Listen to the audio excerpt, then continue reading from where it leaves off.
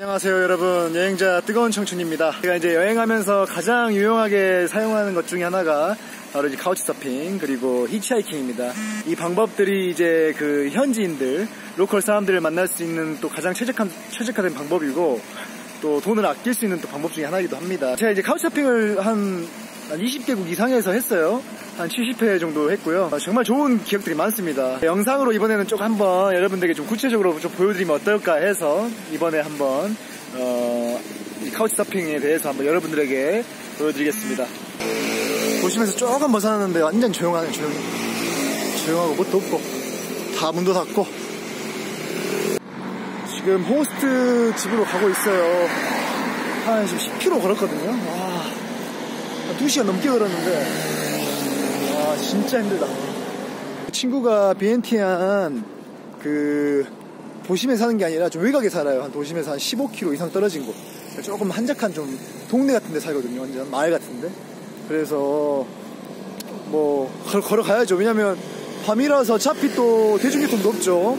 게다가 택시를 타기엔 또, 어, 또 돈이 비싸고 네, 하니까 그냥 제가 10km 정도는 그냥 무작정, 무작정 걷습니다. 어딜 가도 사실 그래서 거의 다 왔고 내심 기대가 돼요 왜냐면 라오스 또 카우치 또 제가 처음이고 또 어쨌든 간에 이제 현지 마을이잖아요 그러니까 또 도심에서 있는 것과는 또 다른 아마 어, 재미가 좀 있지 않을까 싶어요 예, 제 BNTN 호스트 집인 소다 집에 도착했습니다 I cannot drive.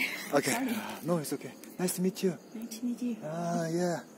Hello, yeah, soda, yeah. Finally, you arrived here. Are you tired? Actually, a lot. Uh, it's quite tired. No, I'm okay. Yeah, okay. Wow, very nice house. Yeah, oh, lovely. 오, 와, 진짜 집 어, 좋다. Hey, 소다. Hello. 아, 날도 좋고, 예, 좋습니다. 진짜 집이 되게 한적해요. 여기가 시골이기 때문에 약간 도시 외곽이에요. 그래서 되게 한적하고 집이 생각 제가 그리고 생각했던 것보다 훨씬 깔끔하고 훨씬 넓고 좋아요. 오, 카우치 서핑 하면은 이제 그 집 구조라는 걸 뭐 이렇게 알 수가 없잖아요. 근데 이제 워낙 케바케거든요. 호스트의 성향도 그렇고 뭐 집의 상태도 그렇고. 근데 정말 마음에 드는 곳이에요. 아주 화이트 컬러의 네, 약간 하얀색 배경에 아 이렇게 소파 있고요. 이렇게 넓은 식탁 그리고 또 개인 제 개인 룸이 있습니다. 아 지금 좀좀 어, 좀 더럽긴 한데 개인 룸 네. 그리고 네 정말 여유롭죠? 네. 네. Maybe I, I I tried. It's like a kind of uh, feel like a fruit, right? Yes, yes, Yeah, yes. yeah. I tried. Not Yeah, yeah. fruit. Yeah, it's not fruit, but uh, feel like uh, they have some Jewish. Okay. What is the name? Uh, this one? Manpao. 만파오. 음. 만파오라는 거 제가 이게 태국에서 먹었던 건데, 그러니까 무 비슷한 건데 좀 달짝지근해요. 음. 네. 딱 무랑 딱 진짜 뭐 과일 딱 중간이에요. 과일도 아니고 채소도 아니고. 음. 와 소다가 만들어준 아침이에요. 네. 밥이랑 그리고 오믈렛이랑 그리고 이거 양배추 삶은 거. 아 정말 간만에 또 진짜 제대로 된 아침 먹겠다. 보통 라오스도 그 약간 되게 보수적인 국가잖아요. 이제 관광지로서 오픈한 지 얼마 안 됐고 사람들 그 마인드도 그렇고 대체적으로 아직까지 되게 그 닫힌 마인드거든요. 근데 이 친구도 약간 조금 스페셜하죠. 조금 특별하죠. 좀 유니크해요. 그러니까 되게 오픈 마인드고 되게 자기만의 또 색깔 있고 음악 막 하는 친구고 이래요. 그래서 조금 어, 좀 다르죠. 네. 어쨌든 이 친구 집에서 지금 한 어, 비엔티안에서 한 제가 생각에는 한 3일 정도 머물 거거든요. 3, 4일 정도. 네, 이 친구랑 머물고 또 제 가장 친한 친구가 또 저를 방문해요.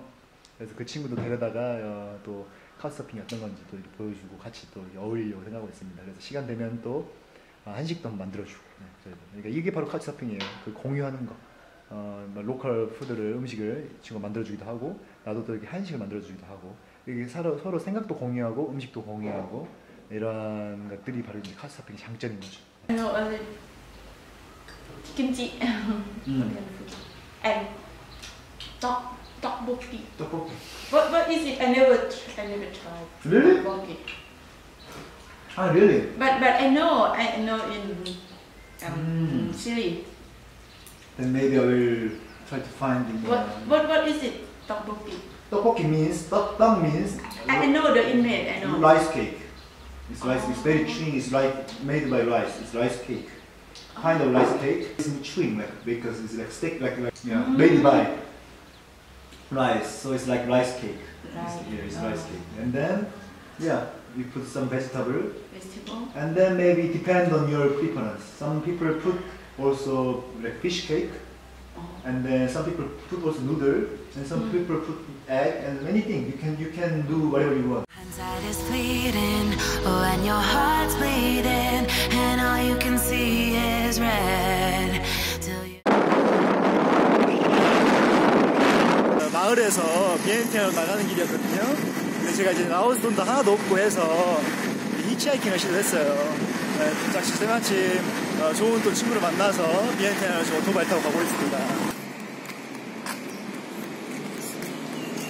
오늘 이 친구를 진짜 2년 4개월 만에 만나는 거니까 야 진짜 오랜만에 보네요. 진짜 너무 많이 보고 싶고 네, 만나서 진짜 회포도 풀고 이런저런 이야기도 나누고 그러고 싶습니다.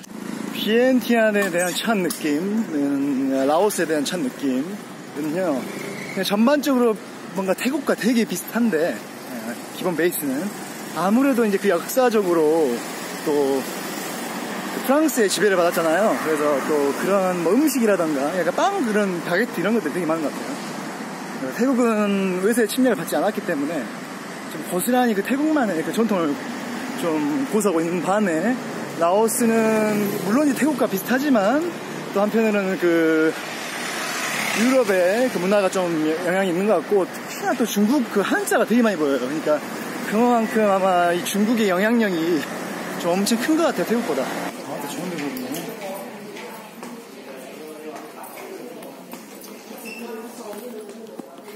MJ. MJ. 얼마만이니 이게? 소리. MJ. 아, 나 만나자마자 피곤해지네.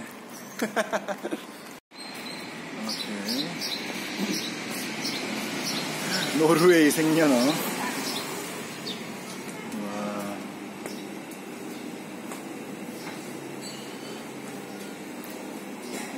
진짜 오랜만이다. 진짜 이런, 한인 식당 오는 것도. 한인 마트 오는 것도.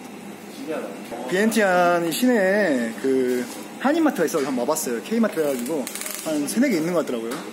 편의점처럼 크진 않지만 한국 식품들 다 파네요. 되게 예, 라면부터 시작해서 어, 또 제가 한국 떠난 지 좀 됐어, 돼서 그런지 어, 못 보던 것들도 많고 카우치 서핑 그 친구랑 지내고 있는데 그 친구가 한식을 한 번도 먹어본 적이 없어요. 제대로 먹어본 적이 떡볶이를 먹어본 적도 없고 그래서 한번 한식을 조금 이렇게 친구에게 한번 해주면 어떨까 싶어서 아, 오졌다. 다 팔아요, 진짜. 와, 진짜, 어, 12,000짜. 약간, 2,000원 좀 안 되고. 야, 만두, 막 이런 거 다 팝니다, 진짜. 아, 아, 진짜 보기만 해도 행복하다. 김치가 4,000짜리, 4,000끼시에요. 4,000끼시면 5, 600원. 와. 대박. 두부도 팔고, 콩나물도 팔고, 고수김치. 고수김치? 호흡을 하네. 신기하다. 고수김치. 믹스.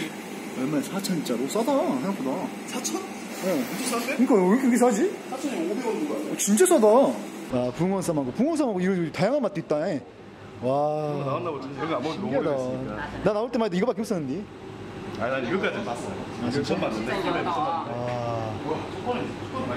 네, 꿀자몽차 뭐 이런 거 다 팔고. 와 진짜 행복하다. 보기만 해도 행복하다. 다 팝니다. 라면도 라면이 조금 비싸긴 해요. 한뭐 한뭐 2,000원 정도 하는 것 같아요. 라면 2,000원 정도. 조금 가격이 있긴 한데 어, 2,000원 좀 안 되거나 그러니까 한국보다 조금 비싸거나 비슷하거나 한국보다 조금 더 비싸네 고추장 쬐끈한 게 13,000끼 어, 그리고 큰 게 28,000끼 어, 한 4,000원 정도. 그러니까 조금 비싸네. 조금 더 비싸네. 그러니까 된장은 내가 말했잖아 그때도. 어? 된장은 좀 싸다고 보통. 소주가 17,000짜 15,000짜 소주가 있어? 어 16,000짜 얼마냐 이 정도면? 이 정도면 아, 야, 딱 2천 원 정도네. 그러니까 2천 얼마면 어, 진짜 2천 딱 얼마. 2천 원이야. 괜찮네. 8,600이 원래 1달러니까. 아, 17,000이니까 2달러. 와, 안 비싸네. 싼 거지. 어, 안 비싸네. 아니 이제 한국으로 치면 비싼 거지. 아니 그러니까 근데 외국에서 보통 막한 8, 9천 원 나오잖아 막 이게 국물 떡볶이와 네, 김치 네. 이 호스트를 위해서 또 내일 저녁에는 우리가 한번 한식으로 한번 대접을 합니다 이건 이제 우리가 어, 모든 것들을 구매할 수는 없지만 떡볶이 생각보다 안 비싼 것 같아요 4천 원 좀 넘는 거니까